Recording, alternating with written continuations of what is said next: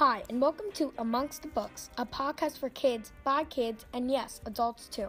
My name is Andrew, and you're listening to episode 3. Today's co hosts, Annabelle and Zainab, are talking with award winning graphic novelist Matt Phelan. Matt received the Scott O'Dell Award for his book, The Storm in the Barn, and is the illustrator for Newbery winner Higher Power Lucky, as well as several picture books his latest being You Are My Friend, the story of Mr. Rogers and his neighborhood. So join us as we learn more about Matt and where he gets his inspiration from. And now with the show.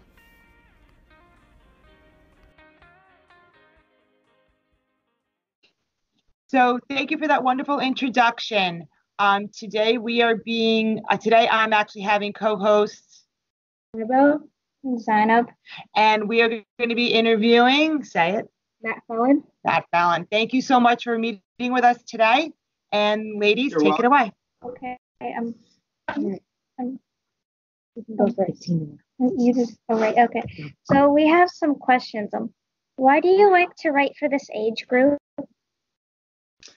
Uh, I love writing for uh, your age group, that age group, because I feel like it's this wonderful sweet spot where you guys love books you love reading, and you love all kinds of different stories. I think sometimes teenagers uh, they start to settle in and they're like, I like this one kind of story. But for these grades, you can try different kinds of things. And I found that kids will be like, yeah, I want to read that, which is really great for an author to be able to uh, do really cool stuff or historical fiction or something really silly. And it seems like that group is, you guys are more uh, adventurous with your reading, definitely more so than grown-ups.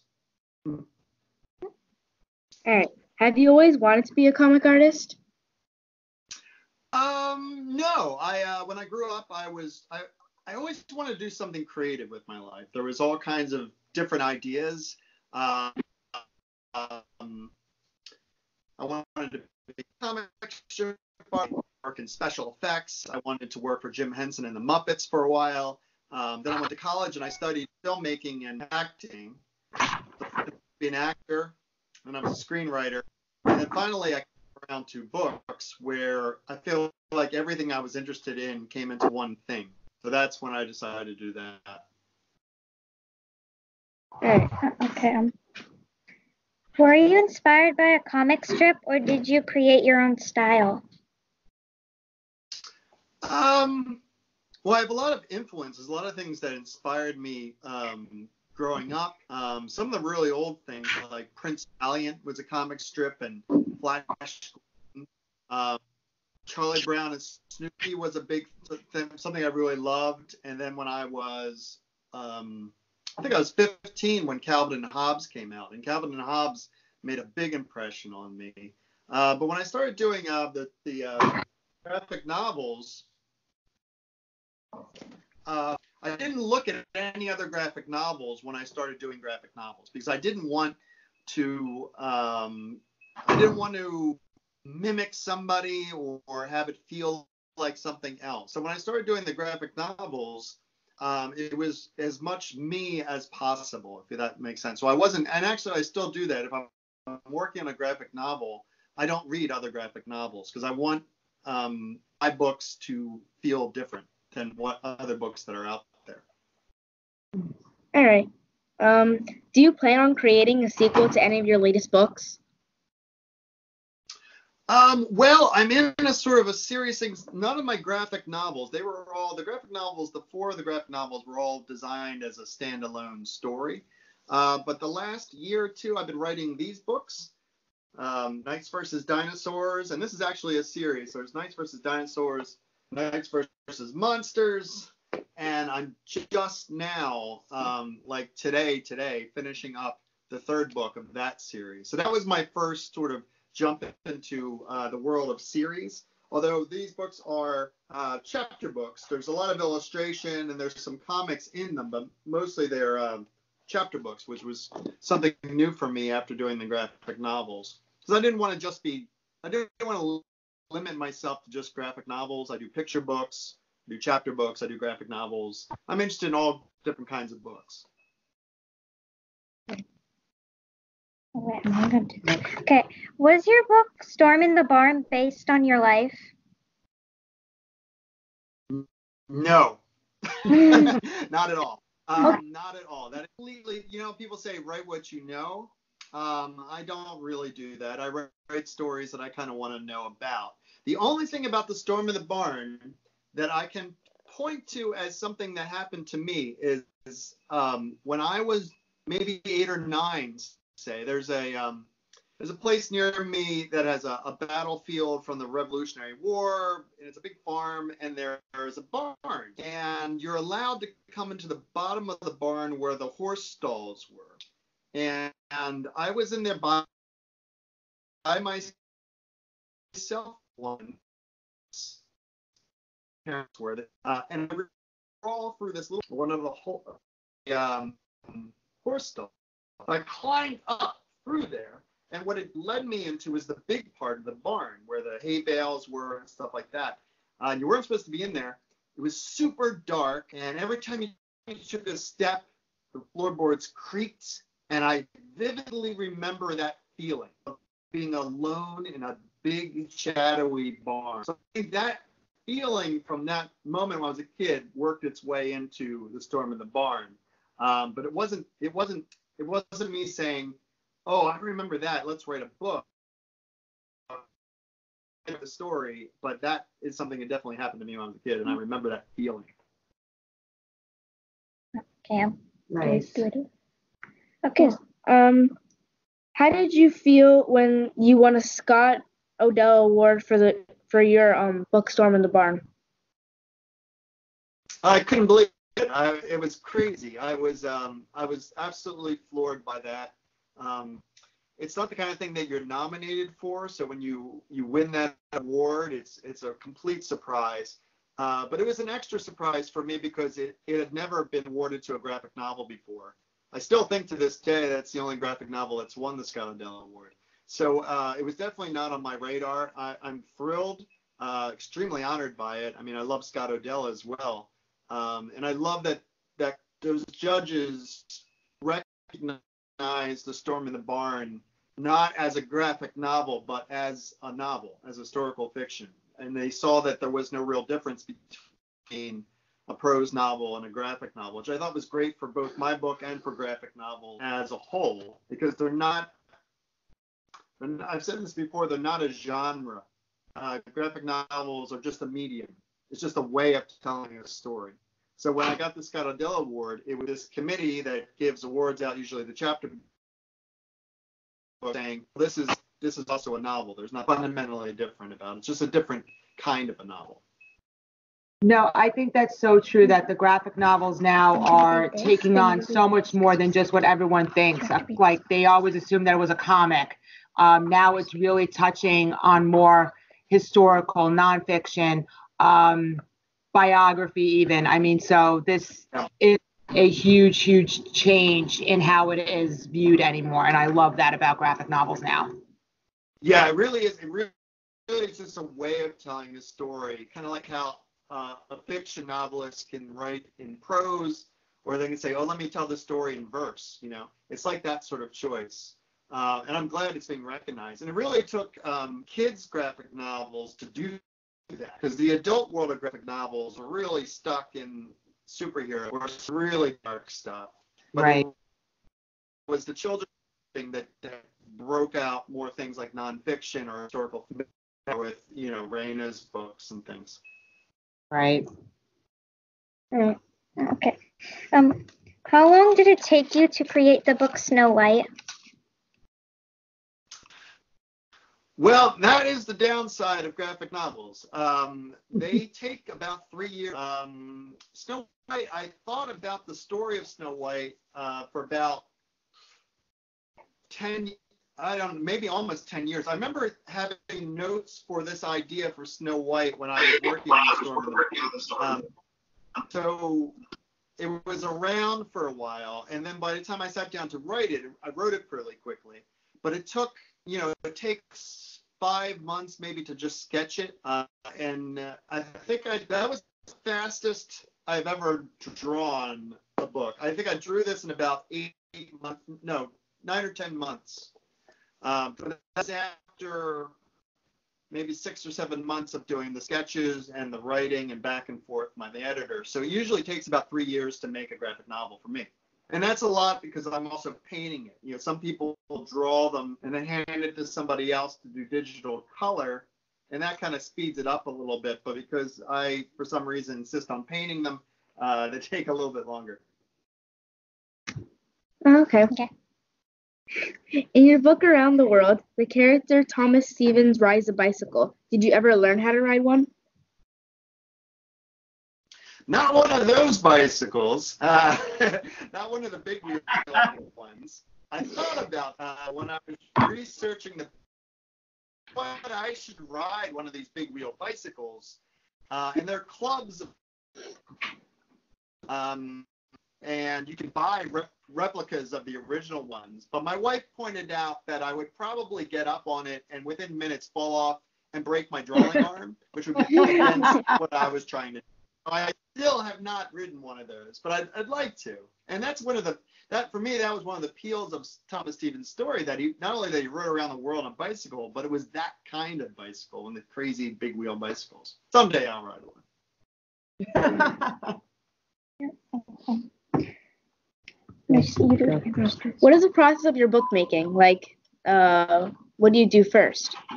I always write the story first. Uh, I'll write the whole uh, script out without drawing anything. So it, it kind of looks like a movie script a little bit, like a play. And what I do is I describe um, every panel that you see. You know, the panels being a little, the little. I'll describe what you're going to see in each panel and the dialogue. Uh, and that goes to my editor, and we go back and forth for a long time working on the story, making sure the story is as good as possible before I start drawing. Then drawings are very simple, small, what they call thumbnail sketches, and I sketch out the whole book. And that's really where all the major um, decisions about the book are actually made in the sketches. By the time I do the final paintings, all of the decisions have been made. It's really, um, I look at it as sort of like if you're an actor, your rehearsal is the your performance is your best version. So when I sit down to paint, um, I know what I'm going to paint. I'm just doing the best painting I can do. But, but all the big decisions about the story and what you're going to see is all done earlier in the writing stage and the sketching stage. So the sketching actually is my favorite of making the book is, is the sketches. Do you always work with paint? Is that like your favorite medium? Yeah, I um uh, because, a lot of it is like coming out of picture books where I was always doing full paintings, but, but I love watercolor and I love what it can uh, how surprising. For the storm in the barn, I experimented with different things, including digital. Nothing gave me sort of the unpredictable quality of never. Nothing gave me that dusty feel like watercolor, Right. which is ironic because water. But uh, you know, for me, it was actually faster to do that because, because I don't work in computer. So uh, it would actually take me longer to do a computer. Um, but I can't I can't get a computer to do what I can get the watercolor to do, which is basically have some spontaneity and some unpredictability, which are two things that computers are not good for. Right, right. Okay, Okay. What was your main goal to reach your readers in the book Bluffton? Well, Bluffton, um, a couple of things. I think Bluffton is probably my most personal book, uh, in that there's a lot of me in that book. I think. Uh, again, not autobiographical, although the Henry character is basically was easy for me to write because it was sort of what would I have been like if I met Buster Keaton as a kid. Um, but another part of it was actually to introduce kids to Buster Keaton because when I was working on the book, I would do school visits and kids would ask, What are you working on? And I'd say, A book about Buster Keaton. And nobody knew who he was. You know, very few kids knew who Charlie Ch- Chaplin was. And I think that's that's a problem. I think kids should know who Buster Keaton is and Charlie Chaplin and Laurel and Hardy. Um, this history of these great comedians, these great artists, if we don't pass on what these people did, people will forget them. Um, so I thought part of it was introducing Buster Generation, which is one of the most gratifying things about that book. When I from a kid who will say, "Oh, I read Bluffton I loved it," and then I looked at a Buster Keaton movie and it was hilarious, and they've Mhm. become Buster Keaton fans for life, and that's that's like the best. Nice. Right. So, um, are you working on any new books? Yeah, I'm finishing up. Uh, like I said, I'm just I'm just now finishing up the third and maybe final book in this Knights trilogy, um, and that'll be out next year. And I'm starting to write another book right now. Um, it's going to be another, I think, another chapter book with a lot of illustrations, completely different. And um, hopefully, I'll be writing that and drawing that next year. It's too early for me to really talk about it. Um, but I will say it's completely different from anything I have done before, which is always something I'm trying to do with my books. I, I don't like to, um, I don't want to repeat myself. So that's why, you know, after Snow White, I didn't just take another fairy tale and put it in a different time. You know, I did this goofy book, Knights versus Dinosaurs, because I like to change what I'm doing and try something new. Okay, and Matt, I know that you have to get going. So, and we appreciate you taking the time to talk with us. Yeah, thank Um, you. So, and I know, um, I, I think I read that, that you have a, a picture book that's out right now about Mr. Rogers. Did I read that right? That's right. Um, Yeah. It, yeah, it's called "You Are My Friend." Um, where is it? Yeah, "You Are My Friend." The story Yeah. of Mr. Rogers. And I was that was a real thrill. Uh, it's the first picture book biography about Fred Rogers, and I'm a big fan. I grew up watching the show, and I the documentary. And he's just one of the most wonderful. He's just a wonderful person. Again, kind of like Buster Keaton, in that I think people should know about him. And what I love about that book, You Are My Friend, is you don't necessarily have to know anything about the TV show. It's about this Right. little boy bullied and how he he grew up to you know value feelings and get that across. perfect job with the words. So when I was given the text for me to illustrate, it was just a pure joy. And uh, and like I said, it's kind of it's kind I felt like it was an honor to do that book. Yeah, excellent. I saw it. I was like, I can't wait to read this because as a huge fan of Mr. Rogers and growing up with him, it's definitely, I was like, I need to look at this book. So- Yeah, it's it's wonderful. It might make you a little weepy, so be prepared. Excellent. Um, well, again, Matt, thank you so much. Ladies, do you have anything you want to say? Yeah, Thank thank you, you. Mr. Phelan. Thank you. We were Well, so thank you for- grateful. Okay, well, thank you for your great questions, guys. And uh, you know, keep reading, keep, keep drawing, keep doing all that kind of stuff. And If you ever have any follow-ups, you can just email me, and I'd I'd be happy to answer any questions. Excellent. Thank you. Thank you Um, so. Bye bye. Take care. bye. Bye. Bye.